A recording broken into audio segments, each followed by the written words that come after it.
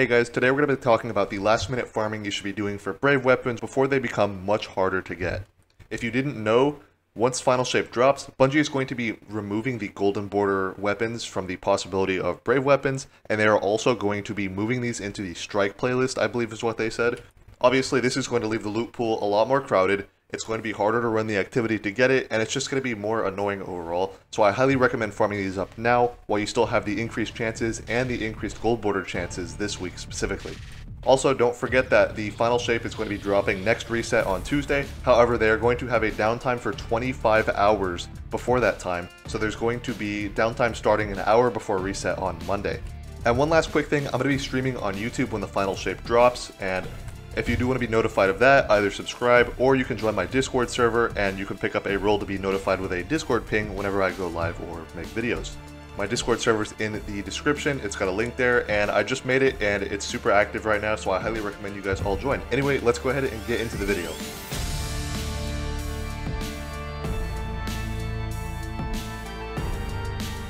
So we're going to start off with the obvious, and this is Edge Transit. This is probably the biggest weapon, or the most hyped weapon from the Brave Arsenal as a whole. It's one of the best DPS weapons in the game right now, and it actually currently has the best burst DPS of any legendary weapon in the entire game right now.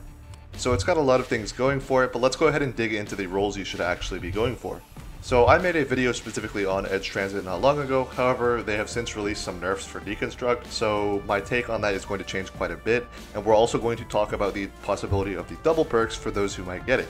But we'll start off with the single perk options because I know that that's realistic for more people.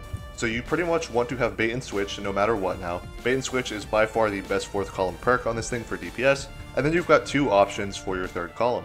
You could choose between either Cascade Point or Envious Assassin.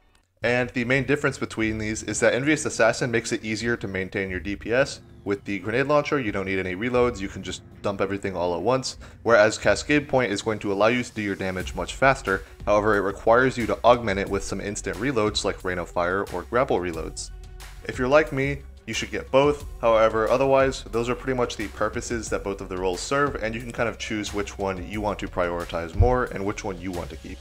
Now on top of that, because we still have access to the double perk gold weapons, you could also get a weapon with and switch in the fourth column, and then have access to both Envious and Cascade Point in the third column. And this does still allow you to switch from Envious Assassin after you've built it up to Cascade Point and maintain its magazine.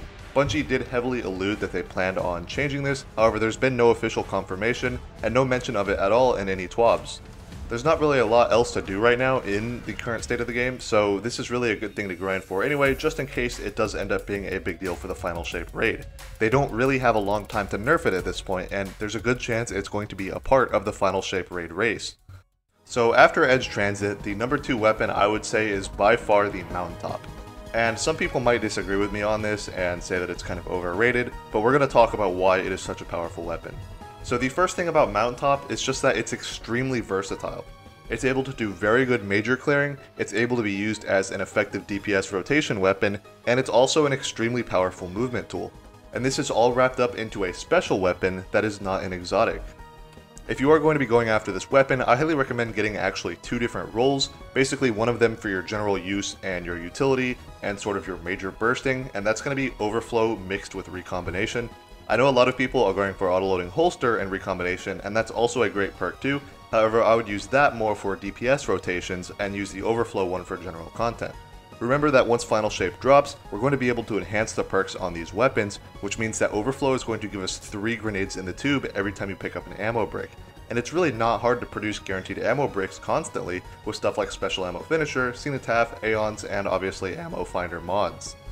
That being said, when you are using the Mountaintop as a DPS rotation weapon, it's really hard to beat auto-loading holster, and then you basically need to decide whether Recombination or Vorpal slash Frenzy is the better damage perk for you. And the way to decide this is pretty much if you're going to be shooting less than, I believe, 6 grenades or somewhere in that figure, you want to be using Recombination because the initial shot is just worth more value.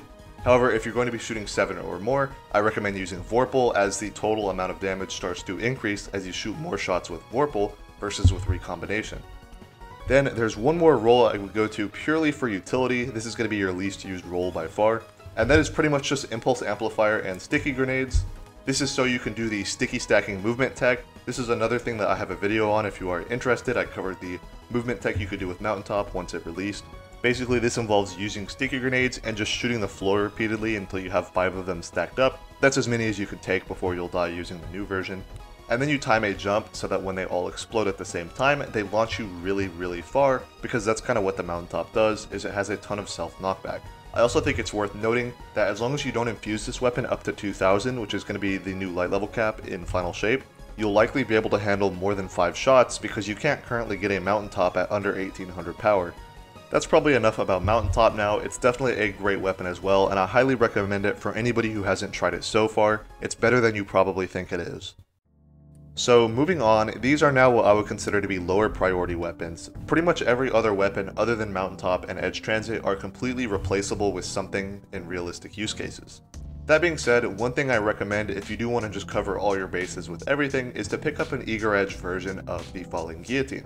There's a couple of perks you could go in the third column, but you basically just want to increase your utility as much as possible. There is a pretty low chance that this is going to be better than the Slammer.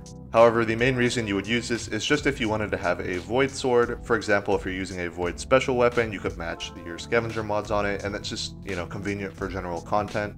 My roll that I have on it is Eager Edge mixed with Chain Reaction, which is kind of decent because sometimes I will use the Eager Edge sword to clear out some ads if I haven't reloaded my weapons or I'm out of abilities or something like that. This is totally subjective, uh, but remember that Vortex frame swords are going to be the better Eager Edge swords when it comes to doing skating, either using well skating or shatter skating or any of the funny edge skating tech. They do have a longer reach than the adaptive frames, and they are going to be enhanceable once Final Shape drops, which will just make them better in every way. The only actual downside they really have is if you do the skate movement too slowly, you'll eat up your ammo, however it is completely avoidable by just being able to put the inputs in quickly. And lastly, these are just weapons if you're not able to or don't want to farm the other sources for equal weapons, and mainly these are going to be the Hammerhead and the Forbearance. So we'll start off with the Forbearance, which is basically just the next iteration of the Forbearance. It's very similar to the old version, it has the exact same god roll of Ambitious and Chain Reaction. That being said, it does have access to Demolitionist, and it has a different origin trait which can give you back ability energy. So it's sort of up to you if this is worth farming for another one, or if you don't have access to regular forbearance, I definitely recommend getting this as it is pretty much the best ag clear legendary in the entire game. And Hammerhead, similar to Forbearance, is basically the same weapon as the Commemoration available from the Deepstone Crypt. Commemoration does have access to Reconstruction, which the Hammerhead does not. However, they both have access to Fourth Time's the Charm, which I think is a great perk in combination with what is by far the best damage perk, Killing Tally. It is worth noting that this weapon is able to get double damage perks, however I don't recommend doing that because machine guns have extremely punishing reloads, and I also want to remind everybody that machine guns as a whole are not super good right now, but occasionally you do have a reason to pull one out, so if you don't have a good machine gun, a hammerhead is definitely one that's able to get good perks. Anyway, that's pretty much going to do it for the video. I hope you guys enjoyed and you learned something new, and I hope to see you in the next one, and see you guys in the final shape. Bye-bye!